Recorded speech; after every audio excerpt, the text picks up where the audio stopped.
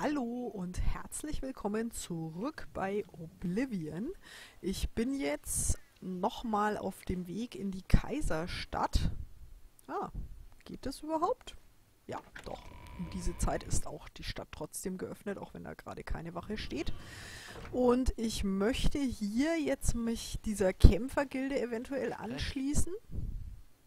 Vielleicht Guten kann man von Herrin. denen da auch was erfahren. Anweisungen? Was sucht ihr? Ah, okay. Wo sind die Gilden? Das klingt gut. In der Stadt sind keine Gildenhallen, aber die geheime Universität liegt auf einer Insel außerhalb der Mauern, südlich des Arboretums. Ich hätte gedacht, das wäre ein Arboretum, aber gut. Was sucht ihr? Die Kämpfergilde, habe ich gehört, erzählt mir von Der Grenzsteinen. Kaiserpalast liegt im Zentrum. Die sechs Bezirke liegen wie die Speichen eines Rades um den Palast herum. Von Nordosten aus im Uhrzeigersinn sind dies Marktviertel, Arena, Arboretum, Tempelbezirk, Talosplatz und Elfengarten. Das Hafenviertel liegt südlich des Tempelbezirks. Die geheime Universität liegt südlich des Arboretums. Das kaiserliche Gefängnis liegt nördlich des Marktviertels. Okay. Was sucht ihr? Immer noch die Kämpfergilde. Im Marktviertel findet ihr Schmiede, Alchemisten, Buchhändler, Magiergeschäfte, Schneider, Waffenschmiede und Händler. Mir scheint, ich möchte ins Was sucht Marktviertel. ihr? Wo kann ich schlafen? Die Herberge zum Kaufmann im Marktviertel, König und Königin im Elfengartenbezirk, Tiber Septim im Talosplatzbezirk und Allerheiligen im Tempelbezirk. Außerdem wäre da noch die Herberge zum aufgetriebenen Floß im Hafenviertel, aber das ist keine schöne Gegend. Hm, das klingt so. Gibt es irgendwelche Kaiser Gerüchte? wurden auch früher schon ermordet, aber dieses Mal, ich weiß nicht, irgendwie ist es anders. Merkt ihr es nicht? Ein Schatten ist über ganz Tamriel gefallen. Hm. Na gut, dann frage Geht ich mich weiter. jetzt allerdings, wie das gedacht wäre, wenn man sich dieser Kämpfergilde anschließen will. Und ob das überhaupt schon geht. Vielleicht geht es ja gar nicht. Jetzt schaue ich mal kurz. Ich habe, ah ja, diesmal habe ich natürlich nicht alles Mögliche eingesackt, weil ich gedacht habe, ich mache eine Überlandreise. Was ist los? Okay, ist auch eine kaiserliche Wache. Der kommt vielleicht zum Wachwechsel. Hm. Kann man da was pflücken? Hm, sieht nicht so aus. Ah, das kann man pflücken.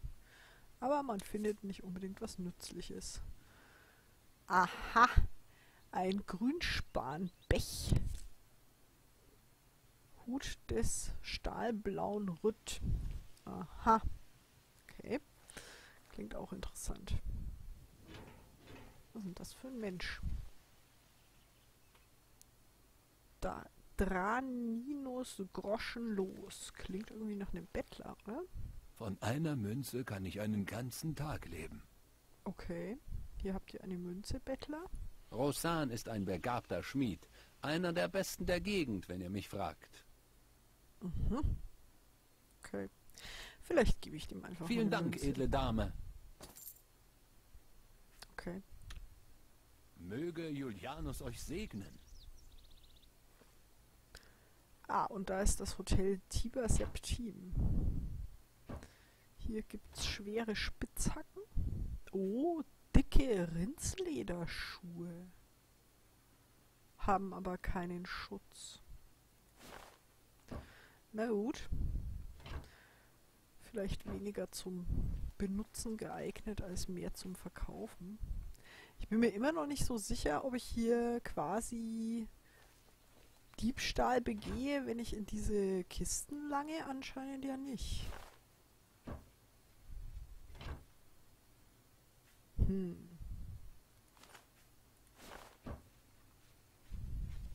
Ich höre euch zu, Bürger. Weiß nicht, ob das sein muss tatsächlich.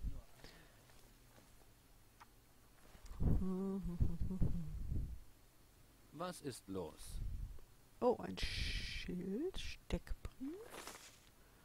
Wanted. Gesucht Graufuchs, gesucht wegen Diebstahls, Unterschlagung, Fälschung, Taschendiebstahls, Falschmünzerei, Einbruch, Verabredung zum Diebstahl, Raubes, Steuerhinterziehung, Verleumdung, Betrugs, Verrat und übergroßer Frechheit. Beschreibung trägt einen grauen Umhang, der seine Erscheinung verbirgt. Wahrscheinlich männlich und aus Kolovina. Äh, Kolovia. Größe zwischen 1,50 und 1,80. Gewicht normal. Haar- und Augenfarbe unbekannt. Alle Bürger mit Informationen sollten sich an Wachhauptmann Hieronymus Lex wenden. Ja, das ist eigentlich ganz witzig, weil da kann man ja anscheinend jeden abgeben, der den grauen Umhang hat, oder wie? Und das ist eine beliebige kaiserliche Wache. Guck an. Und hier ist noch ein Tor zum südwestlichen Wachturm. Ja, das ist aber wahrscheinlich jetzt nicht so da, wo ich hin will. Jetzt heilen wir uns doch nochmal komplett. Ich denke, die Was Stadt wird los? sicher sein. Doch wenn die Drachenfeuer verlöschen und kein Thronfolger blub. Okay, haben wir jetzt leider nicht erfahren. Ihr könnt ja, wenn ihr es wissen möchtet, nochmal Pause machen. Vielleicht werde ich es auch nochmal laden. Hier sind lauter Privathäuser, kann das sein? Vielleicht sind das ja aber auch dann später noch irgendwelche wichtigen Gebäude, je nachdem, mit wem man dann da reden kann. Eine junge Dame, Habt Mitleid, nur eine Münze. Von einer so Münze. aus. Kann ich einen ganzen Tag leben. Das scheint der Standardbettlerspruch zu sein. Er ist ein Märchen. Die kaiserliche Wache tut so, als gäbe es einen Diebeskönig mit dem Namen Graufuchs, der alle Diebe in Cyrodiil kontrolliert. Das ist natürlich nur eine Erfindung, damit sie einen Grund haben, uns weiter zu unterdrücken. Ach so. Okay. Ich werde aus dem Propheten in Anvil nicht schlau. Ist er tatsächlich ein heiliger Mann? Oder nur ein Verrückter, der die Tragödien der Kapelle von Libella für seine Zwecke ausnutzt? So, so. Okay. Zum Graufuchs hätte ich Er sogar ist noch mehr ein zu sagen. Märchen. Die kaiserliche Wache tut so. Das ist natürlich... Okay, aber nach dem kann ich öfter fragen, obwohl sie dann nochmal dasselbe erzählt. Möge Mystara euch segnen. Na gut. Schade. Die Haut, den Hut des rauen Wulstlings. Ach, das sind die Pilze, ne? Ja, genau.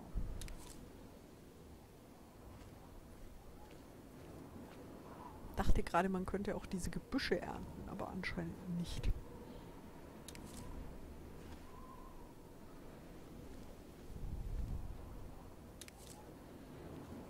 Hier Pilzchen. Pilze sammeln in der Stadt. Das ist irgendwie schon auch. hat was. Seridurs Haus.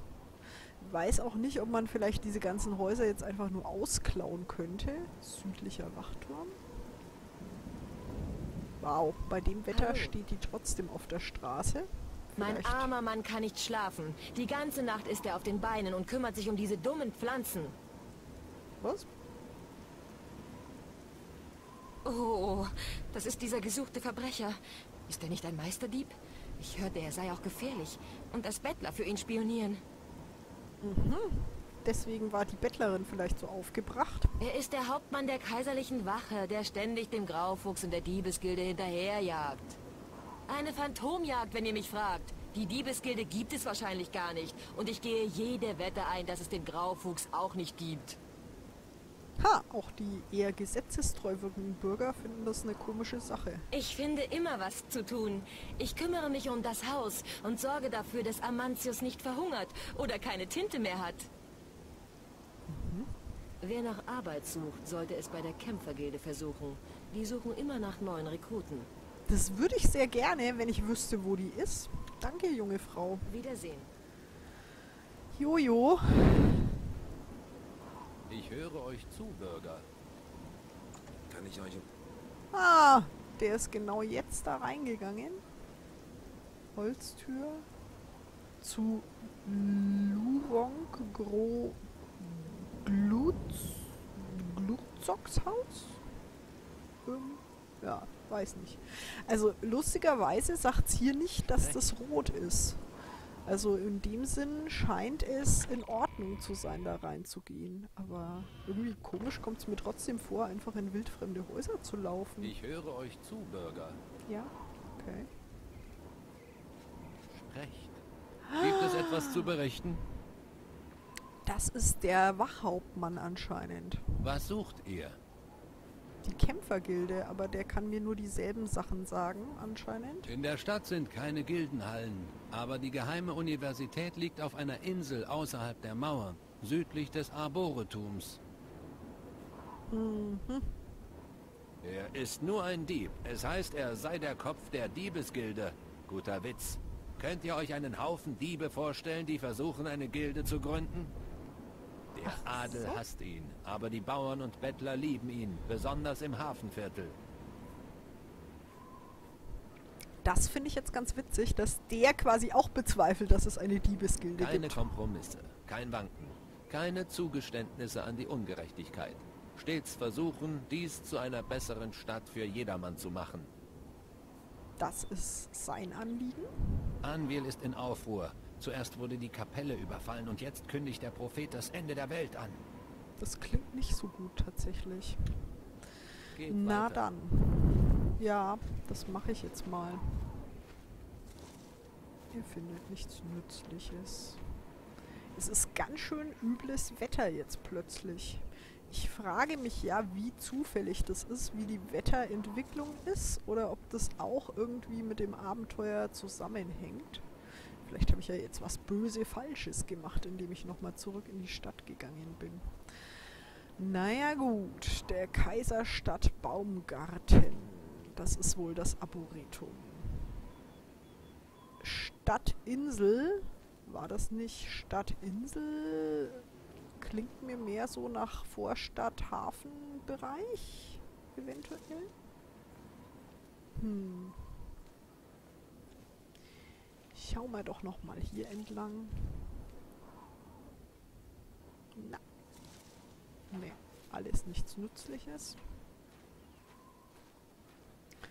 Bin mal gespannt, ob es hier reingeht. Recht. Ach, Tempelbezirk, da bin ich aber hergekommen jetzt. Ähm, hm, was? Hier geht's nur zur Insel, Stadtinsel. Oder? Was ist das hier? Das sieht aber nach einem prunkvollen Gebäude aus. Das ist vielleicht der Tempel dann, oder? Kaiserliche Wache. Was ist los? Ah, Kaiserstadt Palast. Jetzt gucke ich aber doch noch mal auf meine Karte hier. Wo gurke ich denn hier herum? Kaiserstadt Baumgarten, Kaiserstadt Tempelbezirk, Kaiserstadt Palast. Ah, Kaiserstadt Palast ist einfach nur der mittlere Durchgangsbereich. Solange ihr und eure Nachkommen das Amulett der Könige tragt, Bob, das ist, glaube ich, nicht für mich gemeint gewesen. Ich bin nämlich nicht jemand, der mit Nachkommen das Amulett der Könige trägt, wahrscheinlich. Okay, dann versuchen wir doch mal da so schräg durch nochmal zum Marktbezirk zu kommen. Ui, das Wetter hat sich extrem verbessert auf die Schnelle. Das ist ja nett. Nicht schlecht. Alle Bürger sind im Kaiserpalast herzlich willkommen. Ach so? Zumindest in den ersten beiden Stockwerken. Okay. Das ist ungewöhnlich, hätte ich angenommen, aber gut. Das müssen die hier ja wissen, wie sie das machen wollen. So. Marktbezirk. Manche sagen, dass gewisse Mitglieder der Diebesgilde geraubte Gegenstände kaufen. Ja, das könnte ich mir vorstellen. First Edition. Copious Seid Coin gegrüßt. Purse. Den hatten wir, glaube ich, schon mal angesprochen, ne? Den älteren Herrn hier. Der fruchtbare Münzbeutel. Ihr könnt die Seelen von Kreaturen einfangen, die ihr selbst darauf beschwört. Okay. Abermals willkommen. Ich frage mich ja gerade, Verdammter Dieb. Ich hoffe, Sie knüpfen ihn auf, wenn Sie ihn kriegen. Aber er entwischt immer wieder. Die Bettler sind seine Augen und Ohren. Das ist ja lustig. Der klingt jetzt nicht wirklich so, als ob er von Dieben kauft. Soweit ich weiß, sucht die Kämpfergilde gerade neue Rekruten. Für einige Leute ist das genau die richtige Arbeit. Ja, wenn ich die mal finden würde, die Kommen wir zum. Geschäft. Abgesteppte Lederschuhe, bla bla bla. Die kaiserliche Reithose, die wäre ziemlich, ziemlich gut, glaube ich. Bericht über Cut in Ionith. Östliche Provinzen. Ein weniger anstößiges Lied. Okay. Ah, okay. Na gut. Ähm, Reparaturhammer, das habe ich gesucht. Ähm, ich glaube, so viele können wir uns gar nicht leisten. Nehmen wir mal 10. Ja, gut. Und wir können ihm aber vielleicht auch noch ein bisschen was verkaufen. Hoffe ich doch. Ja, genau. Ähm, ja. Ja. Und ja, Ein exzellentes Geschäft. hm, für ihn vor allem wahrscheinlich, weil ich bin nicht so gut im Feilschen, ne? Da kann man Magika wiederherstellen mit Hut, Hut des stahlblauen Rötlings. Wiederherstellen Geschicklichkeit. Das brauche ich eigentlich selten. Ich glaube, ich verkaufe die mal. Ja. Ja, mach mal.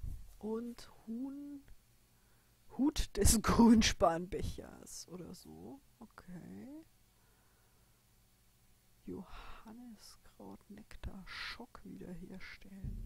Nee, komm. Ein gutes Keine Geschäft. Ahnung. Was? Das Ding kann Lebensenergie entziehen und es ist nichts wert. Warum trage ich das denn dann mit mir rum? Das ist eine Art Questgegenstand, oder? Hm, okay. Primelblätter. Na gut. Huiuiui, Mühsal. Das klingt jetzt auch nicht so toll. Ja, komm. Ein gutes Geschäft. Kleiner Seelenstein. Ich habe keine Ahnung, ob ich den noch für irgendwas brauchen kann. Gefalteter Stoff. Ja. Und diesen Knochen, den will ich eigentlich nur loswerden, ja. Komm. Fertig. Ich weiß eure Kundschaft immer zu schätzen. Ach so, okay. Dann vielen Dank. Lebt. Lebt wohl. Dann schaue ich doch mal, ob ich hier jetzt. Huch. Ah. Keller und Privatquartiere. Nee, wir wollen dem ja jetzt nicht hier irgendwie furchtbar auf den Keks gehen, wahrscheinlich. Also, wäre wär besser, wenn nicht, vermutlich. Ähm, ich habe immer noch erstaunlich viel Gewicht. Ah, das kommt von den Reparaturhämmern. Kann das sein, dass die auch was wiegen? Wahrscheinlich, ne? Klinge. Hm. Okay. Dann wollen wir erstmal die eigentlich reparieren. Nein! Was auch immer das jetzt war. Ich wollte eigentlich. Äh, wo komme ich denn an den Reparaturhammer dran? Kann ich den denn verwenden? Ah, hier sind wir. Reparaturhammer. Genau. So rum funktioniert's. Eiserner Dolch hat noch 82. Aber die Lederstiefel, die, ja, schön. Das habe ich schon befürchtet. Und nochmal. Okay. Immerhin verbessere ich ja auch meine Fähigkeiten im Reparieren, wenn ich Sachen repariere. Leider gehen aber auch immer wieder diese Hämmerchen dabei kaputt, ne? Ja. Ist das eine bestimmte Stufe, bei der die kaputt gehen? Oder es ist vielleicht einfach nur Zufall, wann die kaputt gehen. Mhm. Okay. Ich denke, das lasse ich jetzt mal so. Jetzt sind die Sachen wieder halbwegs in Ordnung. Jetzt habe ich immerhin acht. Der Schild scheint nicht kaputt zu gehen, oder? Zumindest. Ah, dem geht's noch relativ gut. Gut, den verwende ich aber auch fast nicht, ne? Vielleicht liegt's daran. Schwere Rüstung, alles schwere Rüstung und die sind Gold. aber leichte Rüstung. Na gut. Dann verlasse ich den Mann mal. Ja, ich hatte jetzt irgendwie gehofft, ich finde hier diese lustige Kämpfergilde. Wenn mir jeder zweite davon erzählt, ist das ja vielleicht auch was, was man irgendwie wirklich mal ausprobieren sollte. Aber ich weiß nicht so recht. Fighting Chance. Eine faire Chance. Die Verwandlungsmagie kennt Zauber, die Türen und Schatzkisten aufschließen können. Habe ich das richtig verstanden? Reden wir mal mit dieser Person. hier. Willkommen im Eine faire Chance. Ich bin Rossan, die Inhaberin. Ich verkaufe die besten Schwerter der Stadt. Und ich bilde fortgeschrittene Waffenschmiede aus. Ach so, interessant. Verdammter Dieb! Ich hoffe, Sie knüpfen ihn auf, wenn Sie ihn kriegen. Aber er entwischt immer. Die Bettler sind seine Augen und Ohren. Gut, dieses Gerücht hat sich auch zu ihr rumgesprochen. Es heißt, dass die dunkle Bruderschaft euch in eurem Schlaf heimsucht, wenn ihr jemand ermordet. Auf diese Weise werden neue Mitglieder rekrutiert. Okay. Ich weiß nicht, ob ich das unbedingt möchte. Was ich kann hier alles machen? reparieren, was ihr kaputt macht. Äh, ach so. Die kann vielleicht besser reparieren als ich, ha? Kann sie? Ich weiß aber jetzt nicht, was das dann kostet. Ah, ich bin mir unsicher. So schlimm ist das ja jetzt alles gar nicht. Vielleicht ist es auch besser, wir lernen das lieber selber. Gut, dass ihr euch verbessern wolltet. Mhm. Oh, okay. Ich kann mir momentan genau null Trainingsstunden leisten. Ich bin Novize. Wartung von Waffen und Rüstungen mit höchster Effizienz. Abgenutzte Waffen und Rüstungen sind weniger effizient. Okay. Na gut. Lebt Vom wohl. Prinzip her ist das schon interessant. Die hat auch uns was angeboten, aber wir können es uns ja mit Sicherheit eh nicht leisten. Muss ich mir vielleicht gar nicht so genau angucken, was das jetzt ist. Ich hätte jetzt ehrlich gesagt gehofft, dass die Kämpfergilde hier irgendwo ist, dass ich mich bei denen vielleicht zum Beispiel melden kann und sagen, hallo, wie wär's denn? Mache ich mit? Oder wie schaut's aus? Sucht ihr jemanden? Vielleicht sind die im Arenaviertel? Der Ältestenrat hat eine lange Geschichte, die bis auf die Gründung zurückführt. Okay. Hier ist die Arena. Vielleicht ist das dann aber doch hier die Kämpfergilde, oder? Schauen wir doch mal.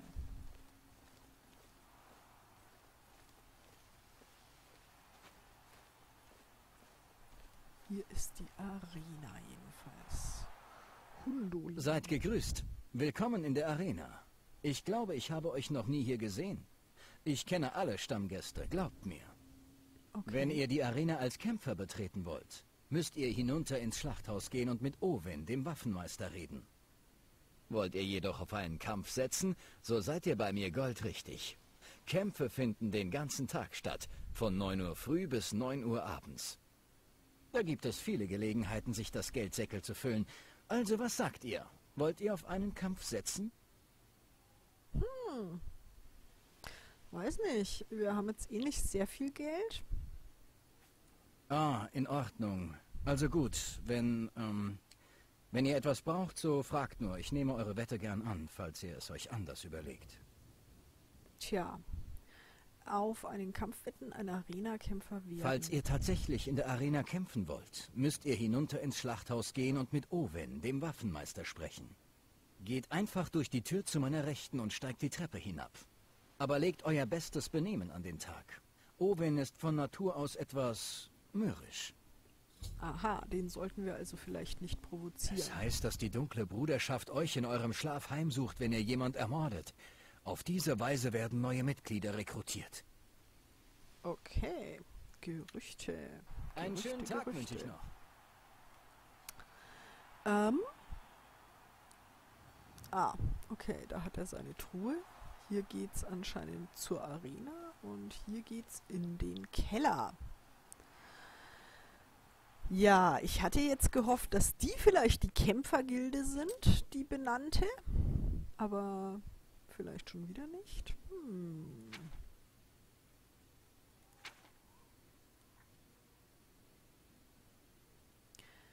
Wenn ich der Arena-Gruppe als Kämpfer beitreten müsste, ist das die Kämpfergilde? Hm.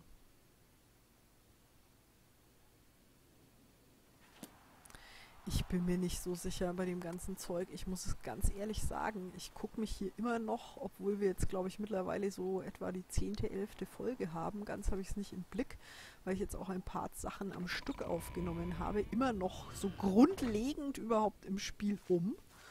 Kann auch grundlegend noch nicht immer alle Funktionen so richtig. Also es ist, ich finde, weiß nicht, man findet sich nicht so leicht rein. Oder es liegt an mir, dass ich mich einfach nicht so reindenken kann auch ins Abenteuer. Ähm, puh. Liefert das Amulett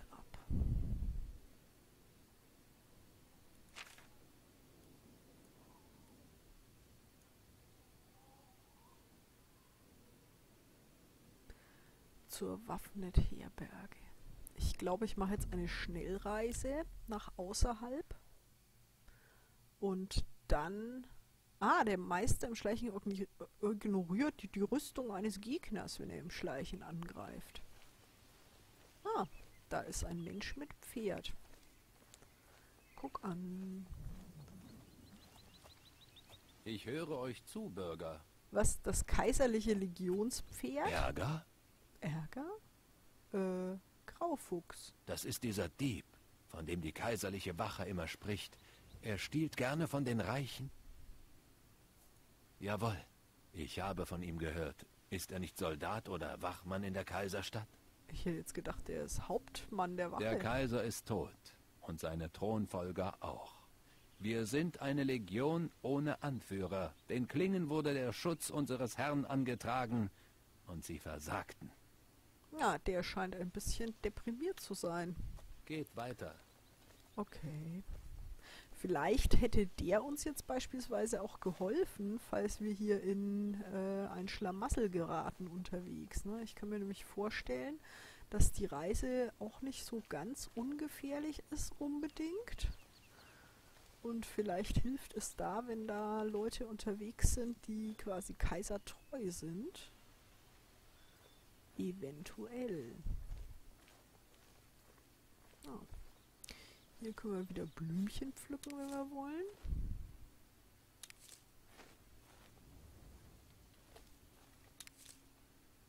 Bisschen jedenfalls.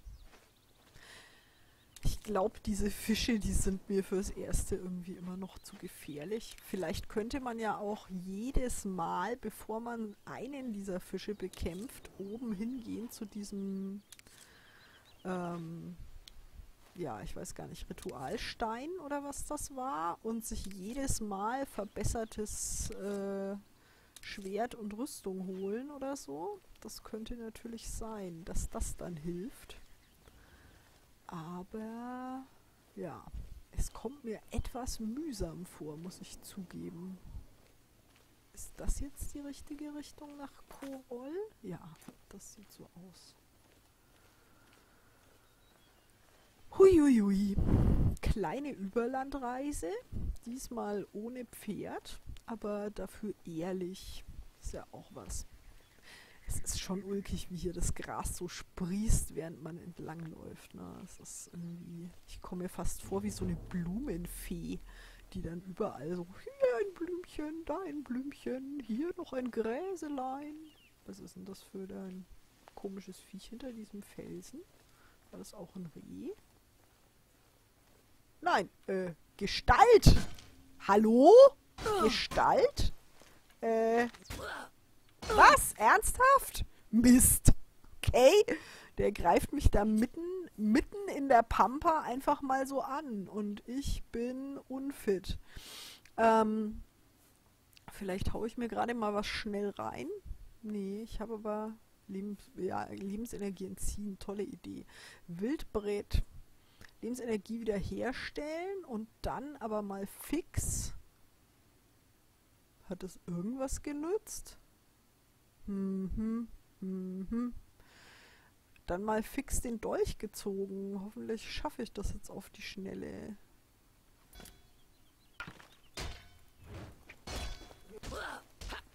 Au. Ich sollte eine Waffe ausrüsten. Ja, das finde ich auch. Okay. Was? Ernsthaft? Ach so. Okay, doch. Es ist nicht nur dieser Pfeil, sondern auch noch andere Dinge. Eine Hufschmiedhose. Pelzbrustharnisch, leichte Rüstung. Pelzschild, leichte Rüstung. Pelzstiefel, leichte Rüstung. Sonst noch was? Hä? Ernsthaft? Hat mich mit einem Riesenhammer angegriffen und was krieg ich, wenn ich dann äh, mich verteidige? Einen Pfeil? Ernsthaft? Ah, Moment. Jetzt hat.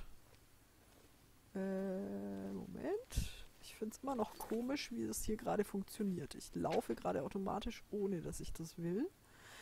Okay, das ist der eiserne Kriegshammer. Stumpf und zweihändig. Und jetzt, toll, ist meine Klinge so runtergeranzt, dass sie nur noch einen Schaden macht. Jetzt hätte ich sie eigentlich dann doch ganz gerne repariert gehabt.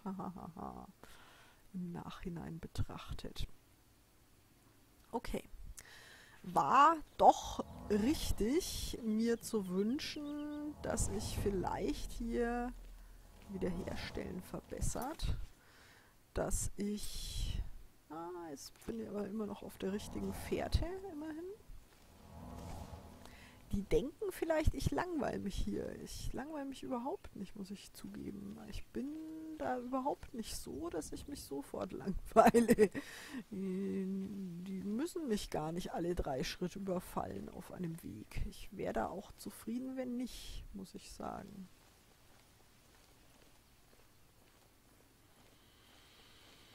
Puh, ich denke, wir speichern jetzt auch mal, nachdem wir diesen Kampf doch halbwegs gut überstanden haben. Schon schön, wenn man hier von oben so auf die Kaiserstadt auch runter gucken kann. Ja, Magie reicht nicht aus.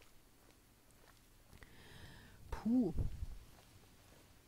So, dann werde ich mich jetzt endgültig mal hoffentlich in der nächsten Folge nach Koroll begeben und es schaffen, endlich mein Amulett loszuwerden oder zumindest mit jemandem darüber zu sprechen, der mir dann sagt, das geht nicht, weil. Bin ich mal gespannt dann würde ich mich freuen, wenn ihr da auch wieder reinschaut und hoffe, es hat euch diesmal gefallen und war ein bisschen unterhaltsam. Und dann bis demnächst. Ciao.